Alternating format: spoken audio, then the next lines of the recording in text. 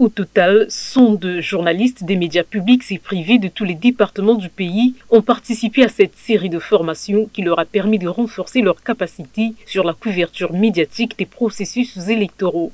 Dans son mot liminaire, le coordonnateur résident du système des Nations Unies, Chris Mourou, a souligné l'intérêt d'une telle formation.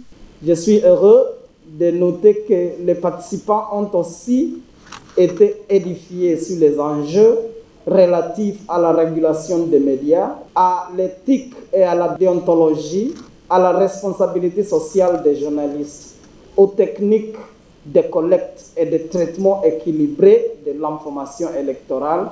Clôturant les travaux, le président du Conseil supérieur de la liberté de communication, Philippe Mvou, a appelé les participants à intérioriser et à s'approprier les connaissances acquises au cours de cette formation. Ce jour qui boucle avec solennité l'intense et riche formation reçue par les journalistes que vous êtes à la faveur de l'élection présidentielle dont la campagne est lancée depuis hier.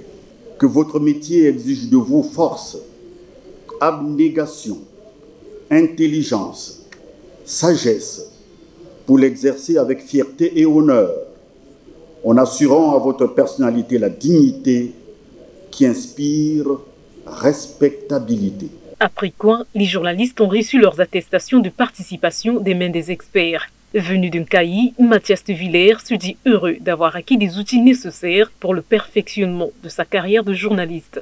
Nous avons appris beaucoup de choses, c'est vrai qu'on en avait déjà euh, quand même, on avait quand même de la matière. Ça ressemblait à un séminaire de renforcement de capacité de journalistes parce que en période électorale surtout, parce que vous savez, il y a beaucoup de bavures et très souvent, euh, les journalistes s'illustrent par des comportements un peu malveillants. Et puis, bon, euh, on nous a montré qu'il faut traiter équitablement tous les candidats.